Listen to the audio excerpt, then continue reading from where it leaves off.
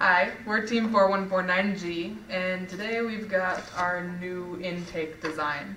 Basically, what was going on is our scissor lift was um, not going up well. Not very good.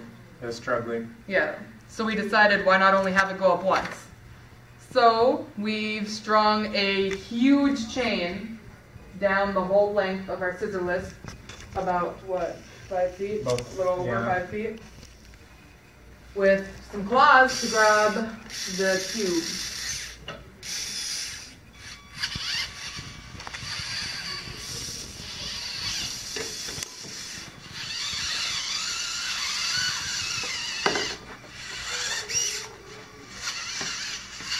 Hmm? Oh.